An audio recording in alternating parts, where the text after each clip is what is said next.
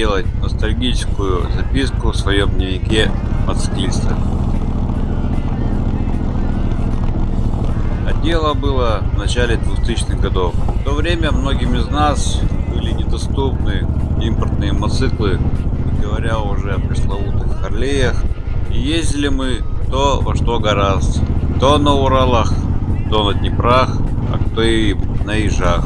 Пределом мечтаний многих из нас это был мотоцикл Урал Вояж, ну и новинка того времени Урал Волк.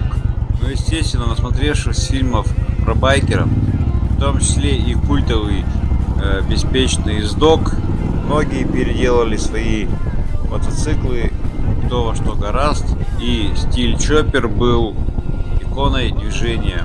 Ну, обязательно на мотоцикле того времени должна была присутствовать длинная вилка, желательно переднее колесо на 21 дюйм, например, от кроссового мотоцикла GZ, ну и заднее колесо на 16 дюймов. Как вариант э, использовалась закатка от японских автомобилей.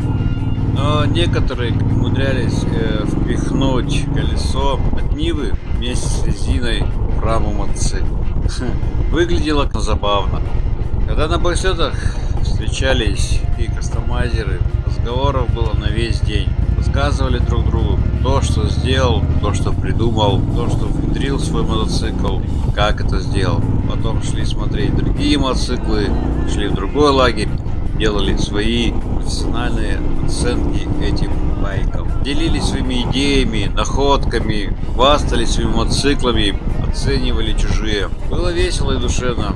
И все это происходило под рок-музыку, которая звучала со сцены байк-слета. Ну и, естественно, под пивасик, ну, как же без него. Самым крутым конкурсом в то время считался конкурс на самый лучший передел мотоцикла отечественного производства.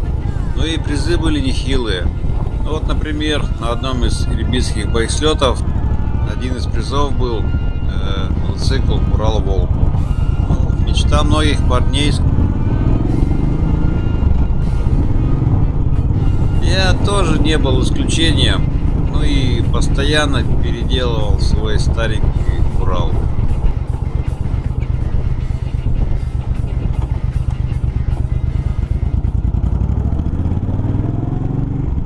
Отдельной кастой в этой плеяде самодельщиков были парни, которые строили мотоциклы на базе автомобильных движков. Основным донором считался Запорожец с его V-образным мотором воздушного охлаждения. Ну а также автомобиль АК, ну и совсем уже экзотика ВАЗ-2108 и оппозиты Subaru. Знаю, что на то время еще существовал совсем уже безбашенный мотоцикл с двигателем от ГАЗ-53. С одним из таких мастеров-кастомайзеров, Сергеем Листов, мне посчастливилось дружиться. Ну, а также познакомиться с одним из его творений, э, мотоциклом на базе Аковского двигателя. Это был его второй проект, который позже я выкупил.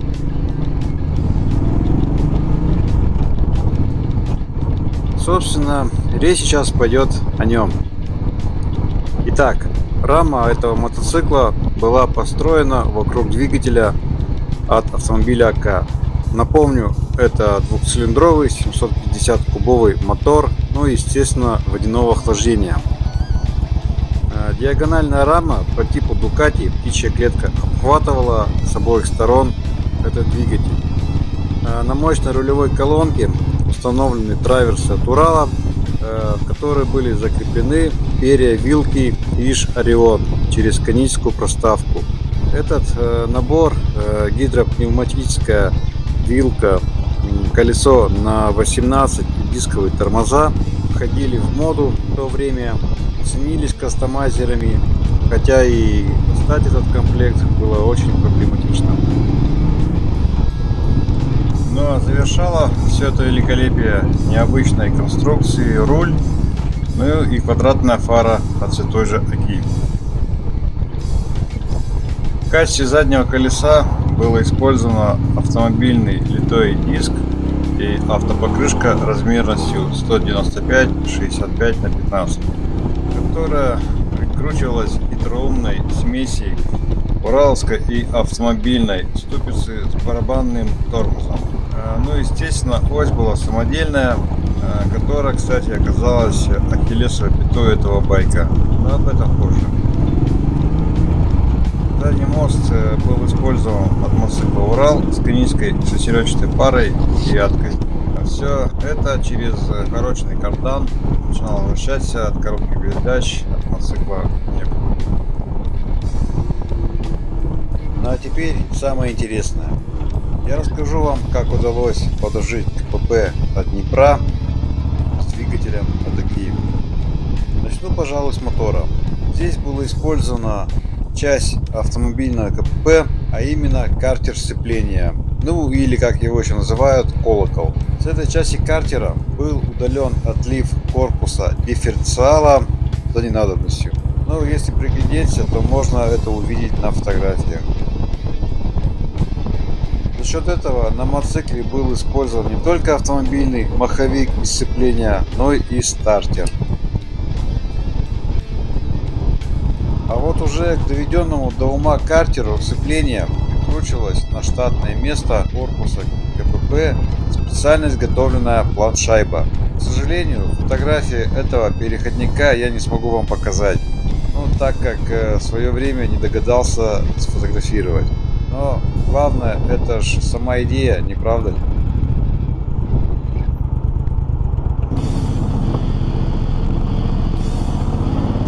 Коробка переключения передач от Днепра также подверглась изменениям. Из нее был удален полностью механизм кикстартера за ненадобностью. Как известно, внутри первичного вала КПП мотоцикла стороны сцепления находится полость. Под нее был переточен размер первичный вал КПП от автомобиля АК.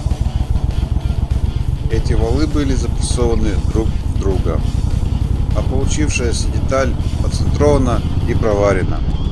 После обработки наш вал от Днепра с хвостовиком Атаки принял окончательный вид. Вторичный вал и остальные детали КПП изменениям не подвергались. Картер же коробки был доработан. На его корпусе удалили крепление воздушного фильтра и вырезали окно для стартера. После сборки КПП было готово работать с автомобильным двигателем. Этот мотоцикл я изначально брал с расчетом на то, что буду его переделывать под себя. Скажу честно, его внешний вид мне не особо нравился. Хотя ходовая часть, а это самодельная рама мотора Мотоки, меня вполне устраивала. Ну и самое важное на то время. Этот самодельный мотоцикл был зарегистрирован в ГИБДД, имел свой ПТС и гос номер. Откатав сезон, я примерно уже понимал, с чего начну. Меня не устраивал маленький, как мне казалось, объем бензобака 10 литров. Пропарив бак, я просто вырезал вверх и увеличил его за счет верхней части другого бака вместе с горловиной. Ну а жертвой стал бак от обычного мотоцикла Урал. На нижней части бака я долго подбирал вариант, особенно переднюю часть.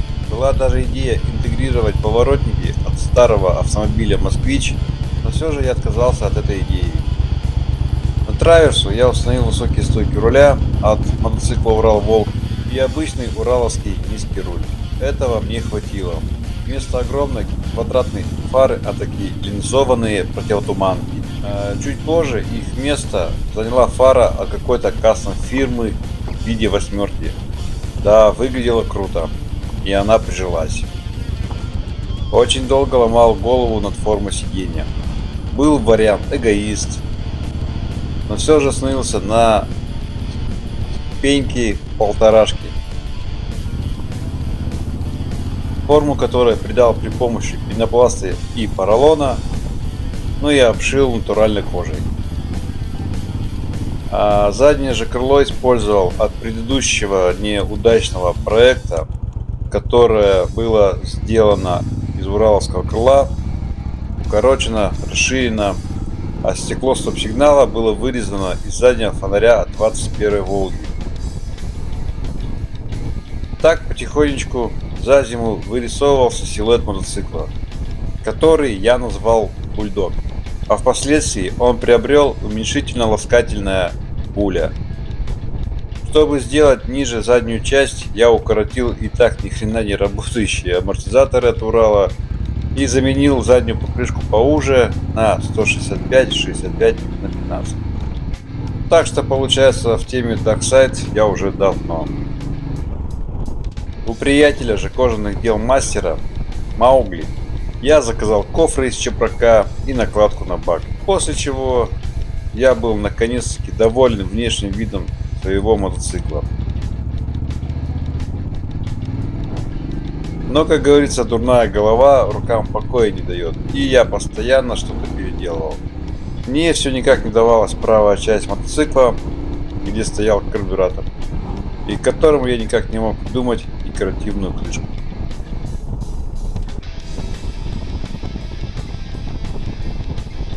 Этим мотоциклом я владел 4 года, в течение которых случались разные поломки. Но, ну, например, приходилось часто менять бронзовую втулку на стартере. Появлялись и вопросы по двигателю, но я их решал довольно-таки быстро, так как запчасти на АКУ можно купить в любом автомагазине.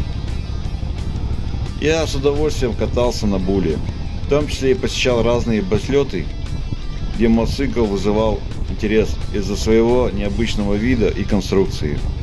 Хотя в то время уже стали появляться иномарки. И все бы ничего, но однажды случилось непредвиденное. Теплые летние выходные мы с моим другом Папашей поехали на рок-фестиваль. Он на Урале с коляской, я на Буле. А ехали мы тогда еще по дороге с хреновым разбитыми фурами асфальтовым покрытием. Кочки, ямки, бугры. Чтобы меня сильно не трясло и позвоночник не сыпался в трусы, я ехал посередине, ну, между колеей, так сказать. И в какой-то момент из-под впереди едущего Урала оказалось нечто, лежащее на дороге. Коробка, подумал я. И когда пролетел метров 15, понял, не коробка и точно не из-под обуви. Это нечто оказалось откатом для прицепов грузовиков выпавший, скорее всего, от тряски из фуры. Этот откат был сделан из всего железа. Он даже не сдвинулся с места при ударе. Я же, пролетев метров 15, приземлился на обочине. Мотоцикл проскользил пару метров по асфальту. На моей части сзади никого не было и на меня никто не наехал. После того, как прошел шок, естественно, ни о каких рок-фестивалях не было и речи. Мы вызвали помощь, загрузили мотоцикл в грузовик и уехали обратно в город. Пару недель я хромал, так как был сильный удар на ноги. И после того, как отошел, принялся восстанавливать свой мотоцикл. После этого случая меня преследовали неудачи.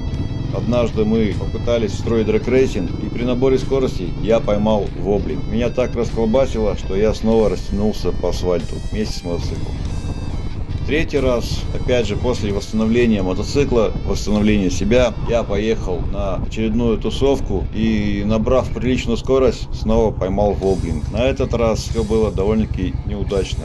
Я как сейчас помню, он катился по асфальту, я оказался на обочине, где-то искрануло и произошло возгорание мотоцикла.